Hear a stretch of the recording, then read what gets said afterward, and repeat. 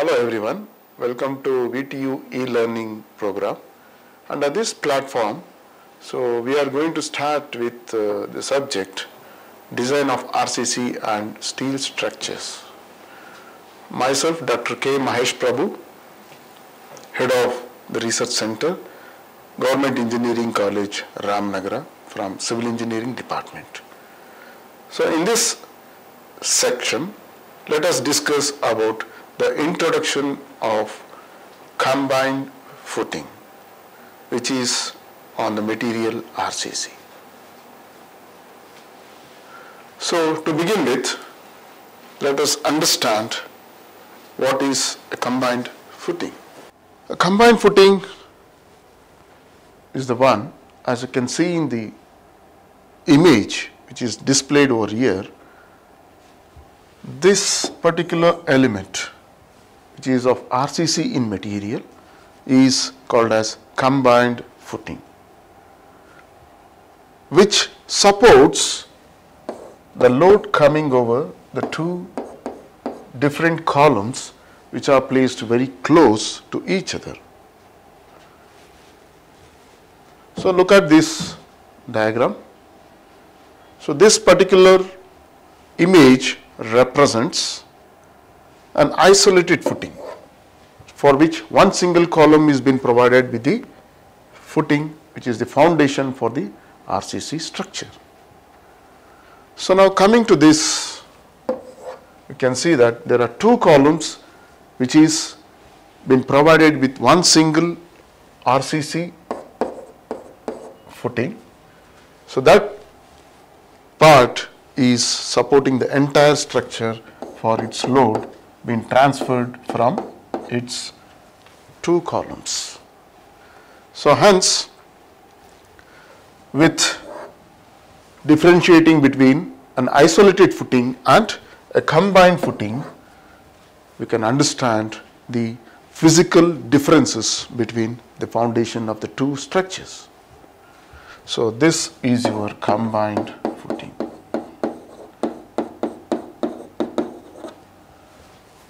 So this is an isolated footing.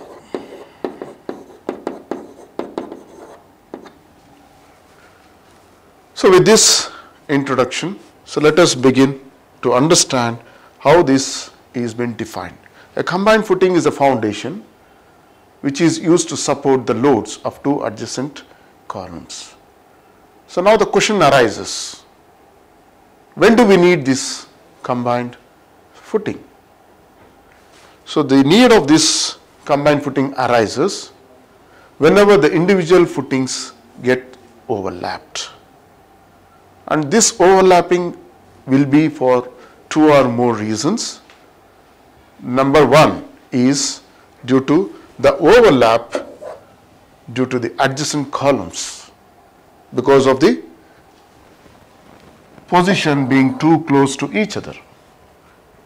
The second criteria is when the overlap happens because of the low bearing capacity of the soil. The third criteria is overlap due to the high intensity or the magnitude of the individual column loads.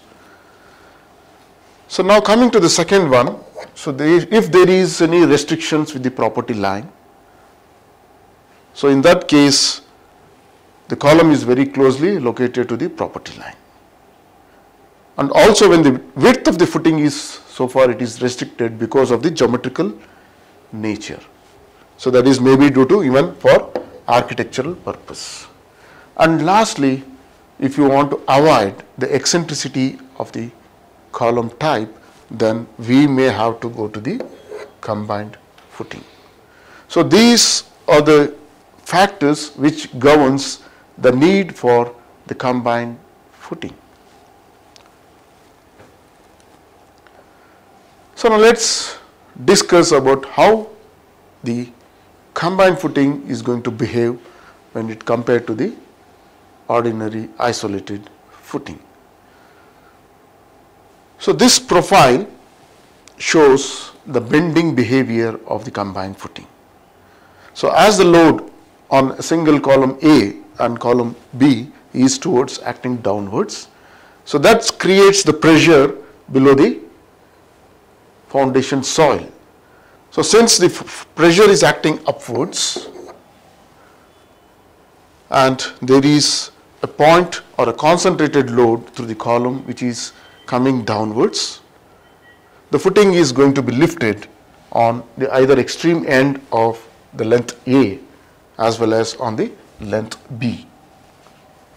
And between the two columns there is also the upward pressure which is acting through the soil. So hence the footing is going to behave as a flexural element in this fashion. So this can be accorded for an inverted overhang beam.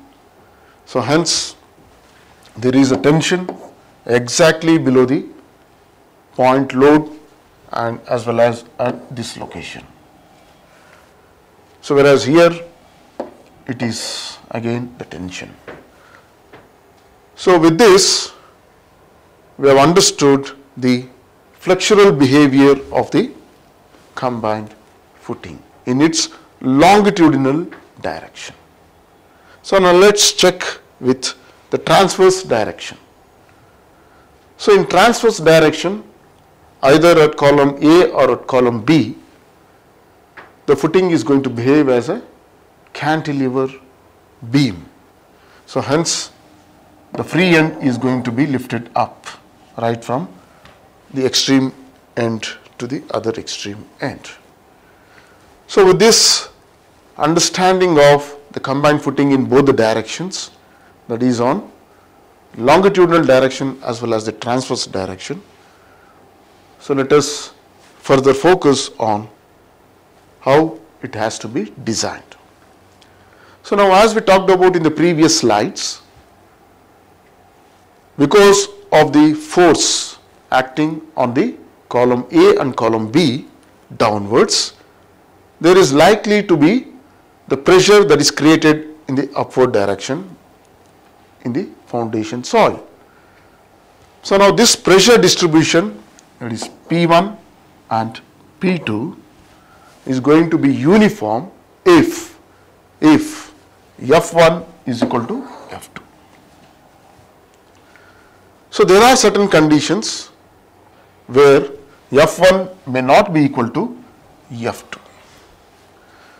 So this particular pressure distribution diagram is valid for F1 is equal to F2. So now let's see what is going to happen for the upward soil pressure when F1 is not equal to F2.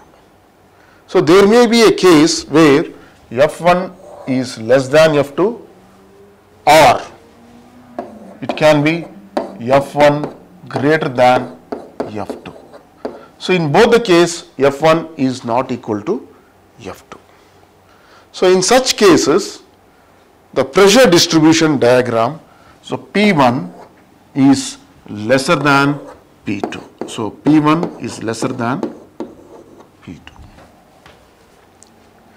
So hence the upward soil pressure acting in the foundation soil could be a triangle or it could be a trapezium. So it can be equal to 0 or it can be less than 0. So both are possible. So in such cases, in most of the practical cases, F1 is never equal to F2. So in such cases, let us see how the beam or the slab which is being provided as the combined footing is going to behave. So with this, let us focus on how to design a slab type combined footing having given the two different behaviors as F1 is equal to F2 and F1 is not equal to F2. So as a design procedure of the slab type combined footing, so we do have listed as 1 to 6 being the design steps. So where the very outset, first we need to determine the area of combined footing that is required to be provided for the given loading conditions. The next is we need to plan the dimensions of the footing in such a way that we can arrive at the uniform upward soil pressure and then distribute it uniformly throughout the length so that the behavior is more symmetrical. Next, at step number 3, we have to determine the net upward soil pressure which may be uniform, it may be uniform, sorry, it may be uniform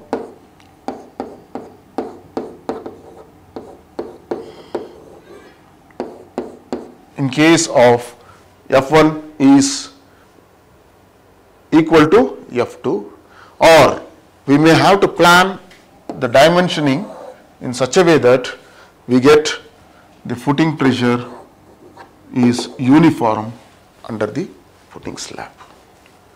So with this we move on to analyze the structure that is footing structure and obtain its BMD and SFD.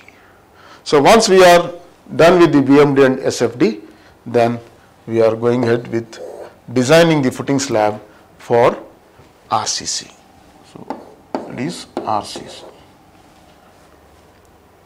So finally once the footing is designed for the bending then we need to check the footing slab for the shear capacity whether the design footing is sufficient enough to sustain the shear for which it has been subjected to so that it is safe under one way and two way shear.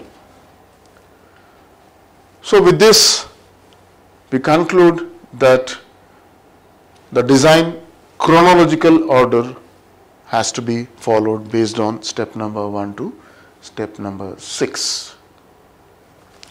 So now let us see on one to one and understand how we go about step number 1 to step number 6 in detail. Step number 1 is to determine the area of footing required. So to determine the area of footing required, we do have the equation which is equal to the total final load acting on the footing divided by SBC of soil. So now the total load on the footing is equal to the two loads that is coming on footing number 1 and footing number 2 that is F1 and F2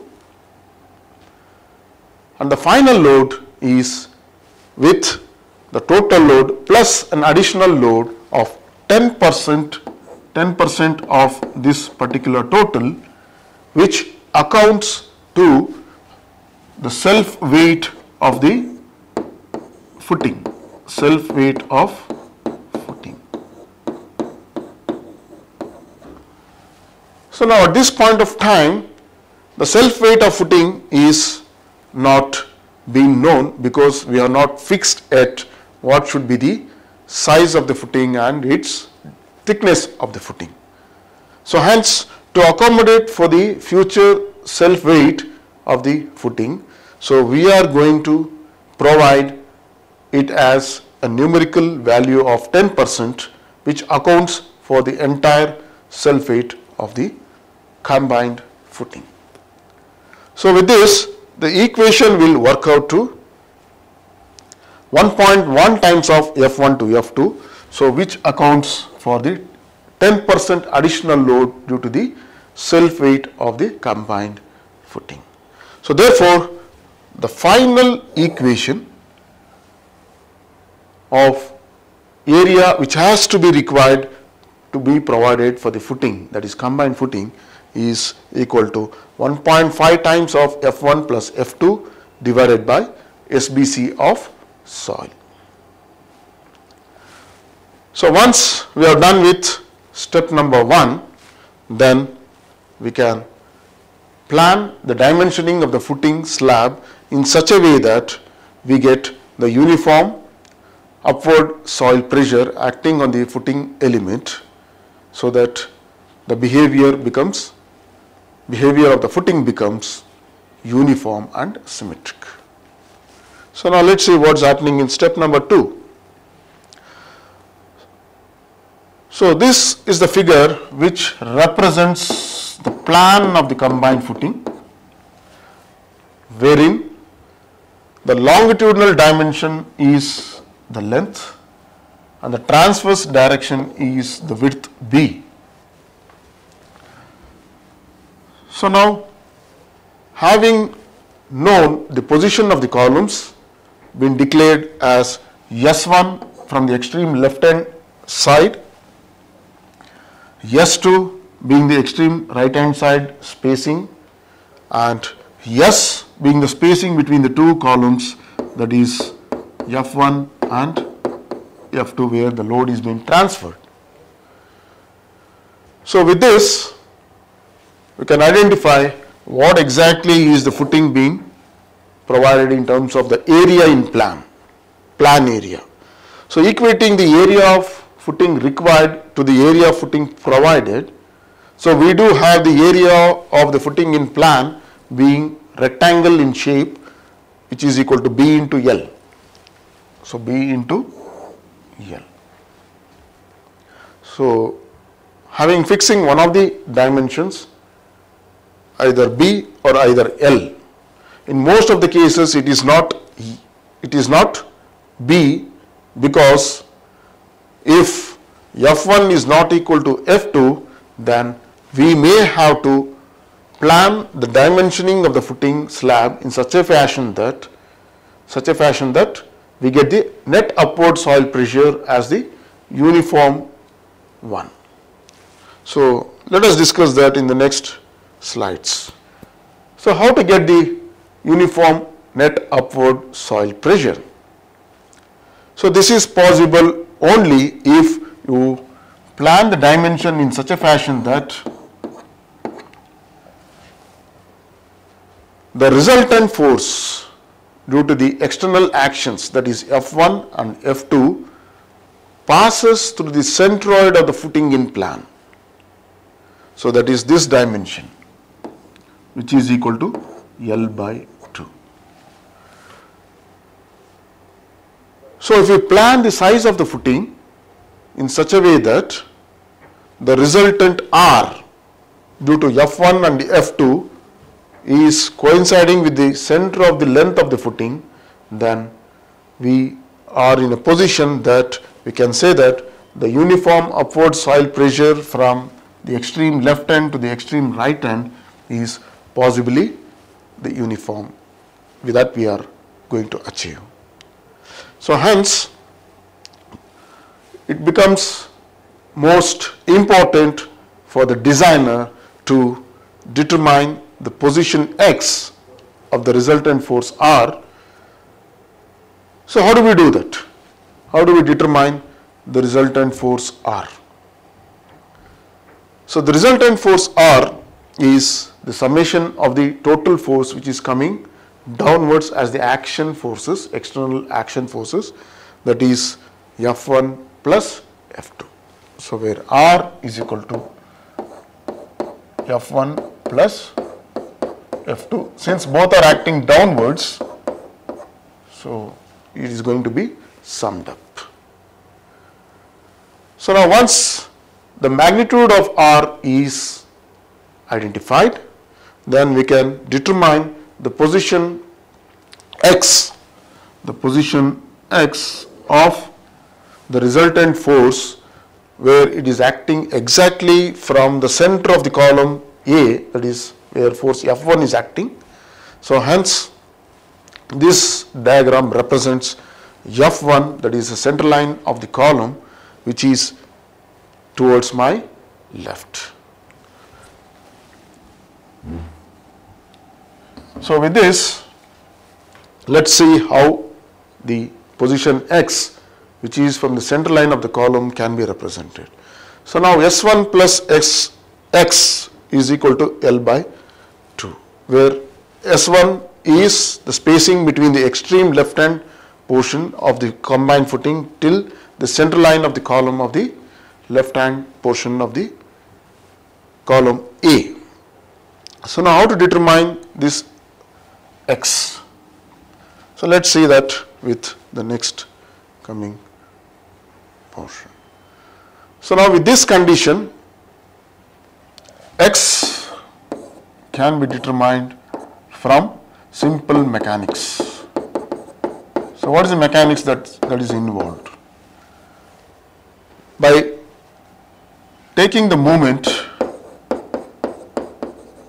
taking moment about point center line of the column A, we do have the equation that is R into X should be equal to F2 into S.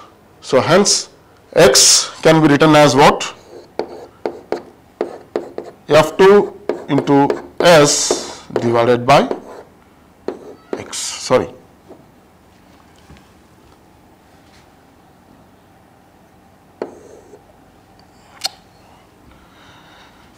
So F2 into S divided by R.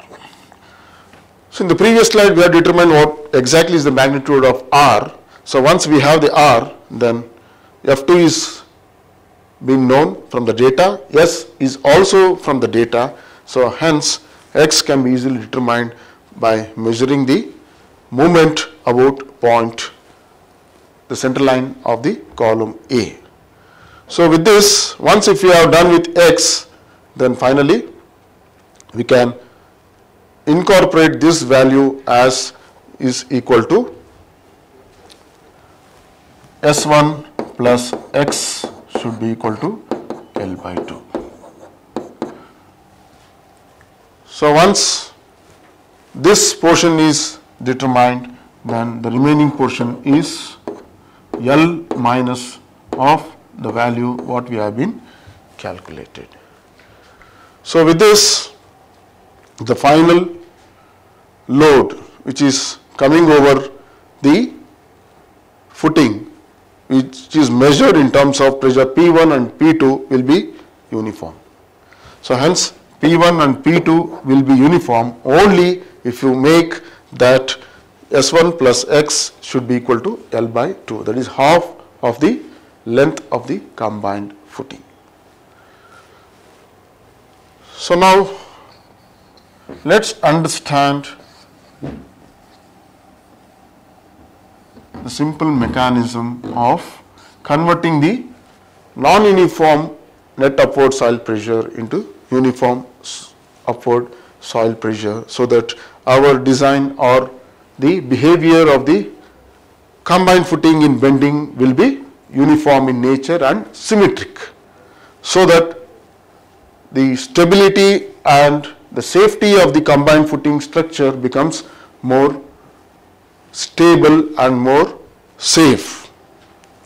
So once we have done with this, we can convert the pressure into the loading conditions by just having the magnitude being transferred, converting the pressure into UDL.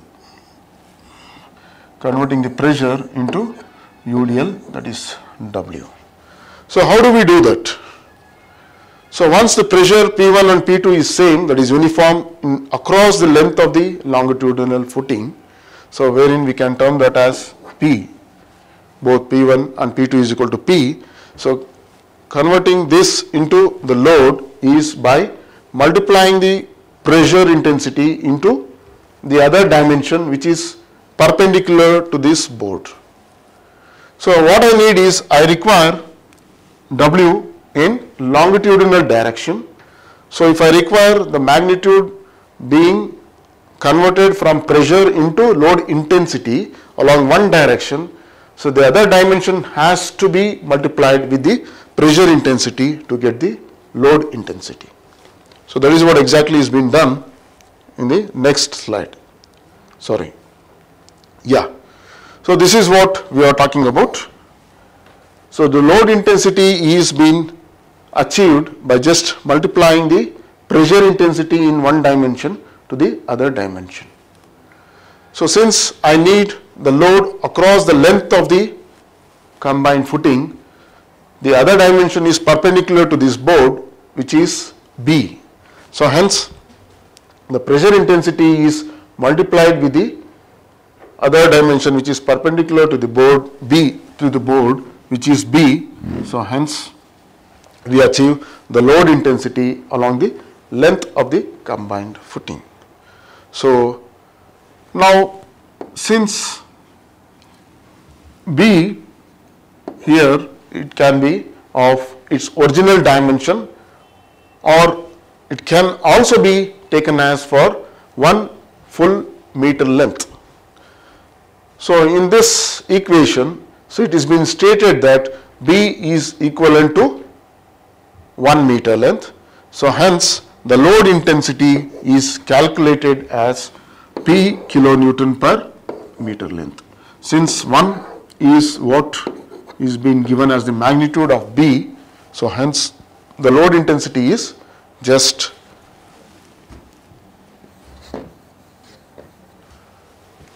the load intensity is just P kilonewton per meter length of the combined footing.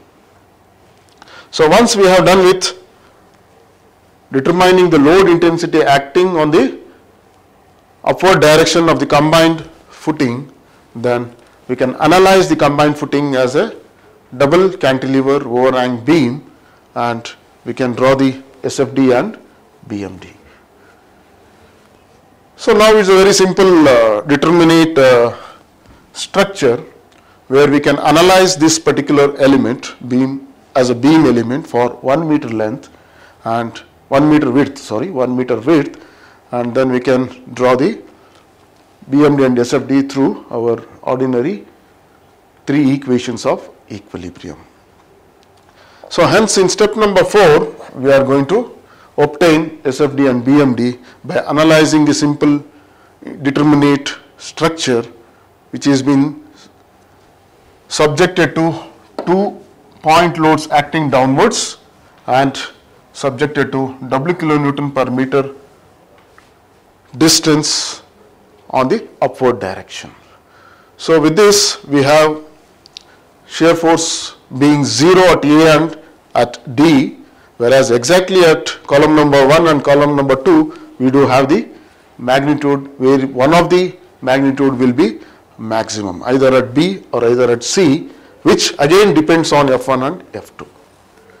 So now once if we have this shear force diagram we can develop the bending moment diagram where exactly the maximum bending moment will be exactly along the dimension x where the shear force is minimum or it could be changing from negative to positive direction.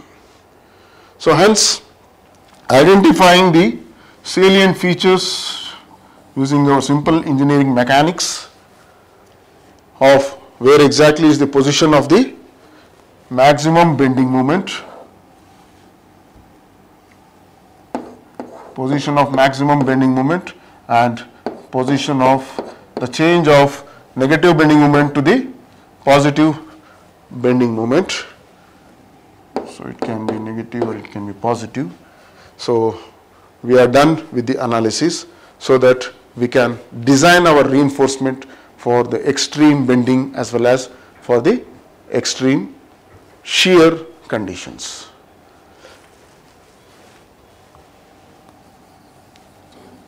Okay. So now once understanding the analysis and getting the bending moment and shear force diagram on our design calculations. So we do have critical values as from different locations as you could see on the board that is M1 exactly below the column number 1 M2 being at column number 2, M3 being the maximum bending moment and its location has to be traced from x is equal to V0 where V0 represents the zero shear force. So now with this we have the entire analysis been complete for the planned geometrically planned combined footing of slab type. So then we can pitch in for determining the reinforcement. So now coming to the next transverse direction. So as we discussed in the earlier slides, transverse reinforced transverse direction, the combined footing is going to behave as the cantilever type.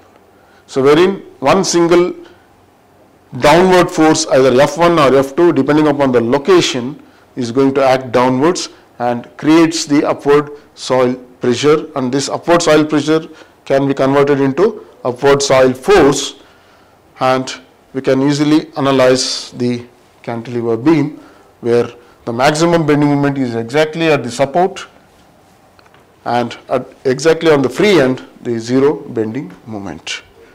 So hence along the transverse direction we need to identify what is the transverse shears as well as the transverse bending moment.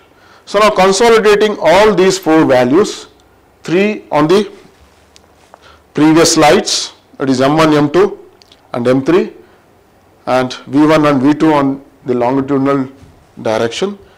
On the transverse direction we do have Vt and Mt. So totally put, putting together as 4 bending moment values and 3 shear force values, shear force values. So with this we choose the maximum bending moment and we are going to provide the other dimension of the footing that is in y direction which is called as the thickness or the depth of the combined footing.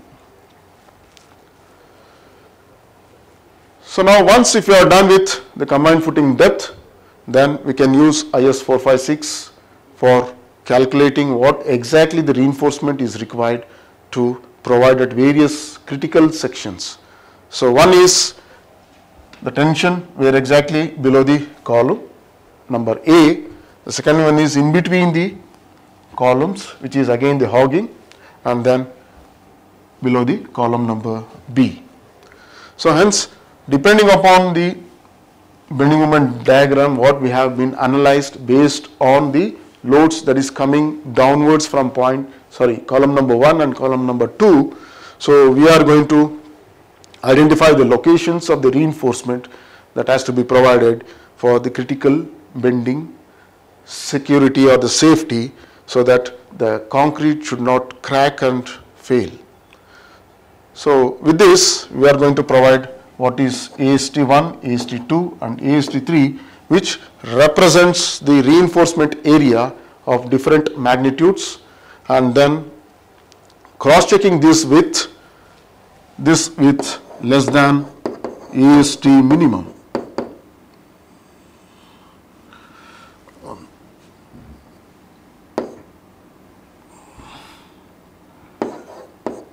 AST minimum.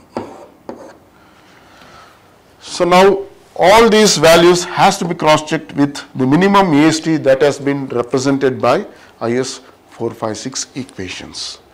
So once if this is achieved, then we can conclude that the entire combined footing is being taken care by the reinforcement for which it has to be provided for the tension zones. So next, once the design is complete for the bending, that is for the tension, then we can finally pitch in for the step number 6, which is for the shear check. So before shear check we need to get into for the transverse bending. So where since it is only a single direction bending so we have to provide only the reinforcement at the bottom. So with this we conclude the design of combined footing in both the direction for bending. So the next is shear design. So in case of the slab we are not going to design for shear. We are not going to design for shear. We are going to check for shear. That means the difference between the design and check is in terms of providing the reinforcement. So if we are designing the RCC element, then we are going to provide the reinforcement. If we are not going to design, then we are not going to provide the reinforcement. So hence in all slab elements, we see that it has to be checked for shear, either in one direction or either in two directions. But both the directions are very critical because of its nature of behavior. So in one way shear check, the procedure is we need to identify the critical section for one way shear and then we need to assess the stresses that is going to be generated due to the applied forces of both action and reactions and once these stresses are within the limit of the stresses that has to be taken care by the design concrete then we could conclude that the shear check is safe. So now let us see how to go about and achieve this particular shear check. So now in case of one way shear it is checked at a section which is called as a critical section and that is exactly at a distance d from the face of the column. So now in plan we do have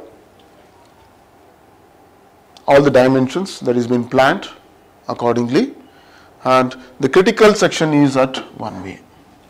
So which is exactly measured at a distance d where d is the effective depth of the slab that we have been provided and this dimension is measured from the face of the column towards my left.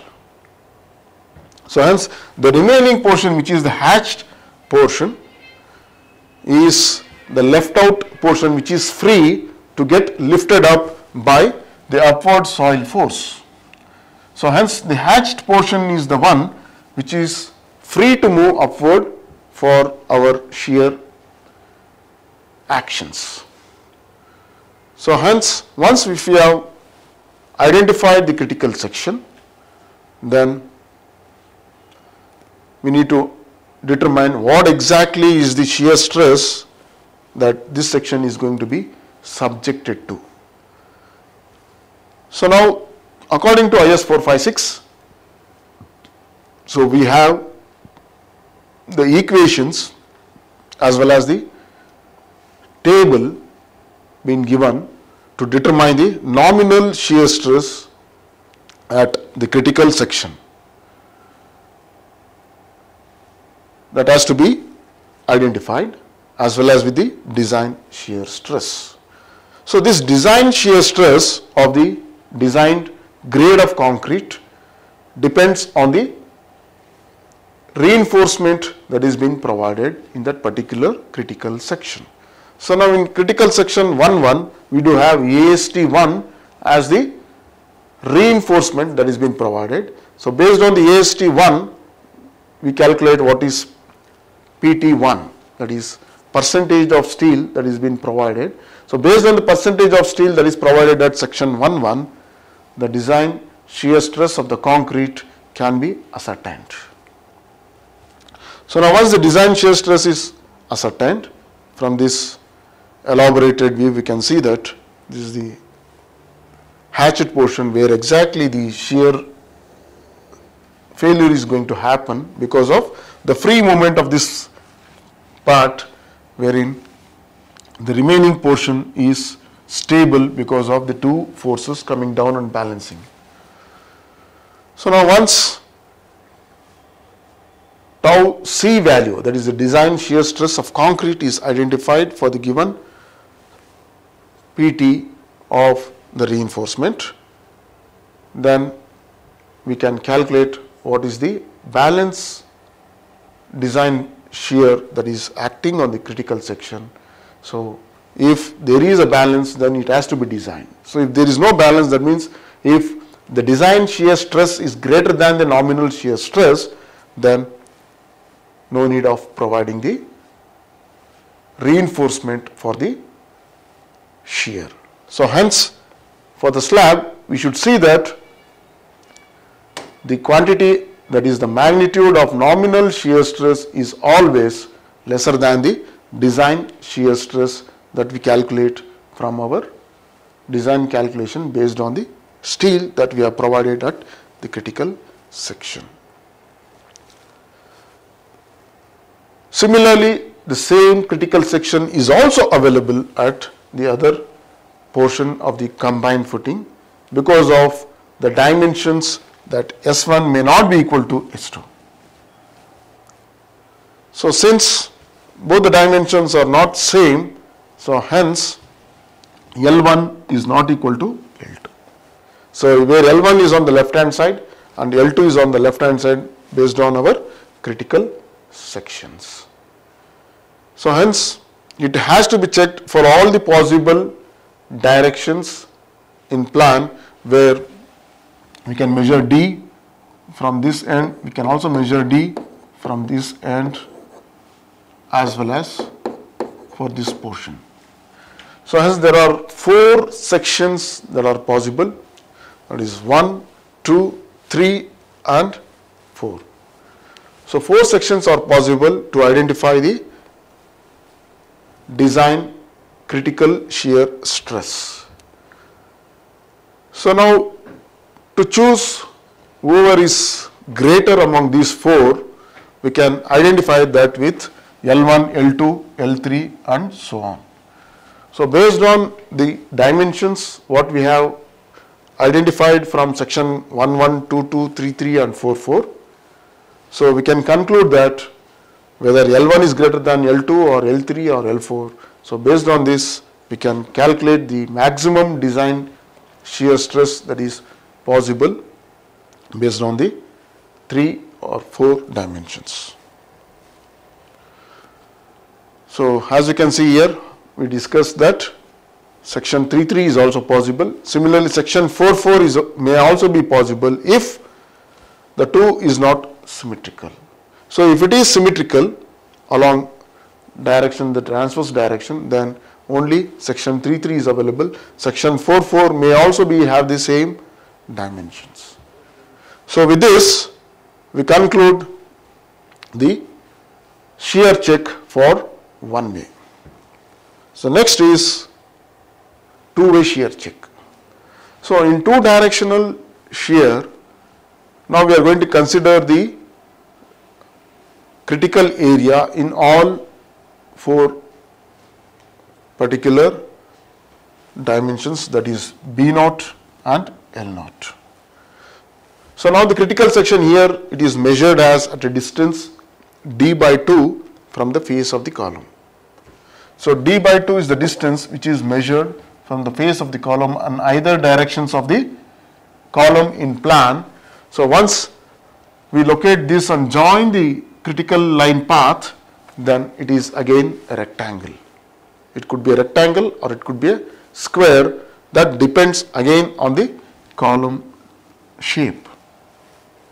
So, since in this figure it is rectangle, the column is rectangle, so hence the critical path is also a rectangle. So, now this hatched portion is the one which is going to be failed in two-way shear because of the net upward soil pressure acting directly on the combined footing.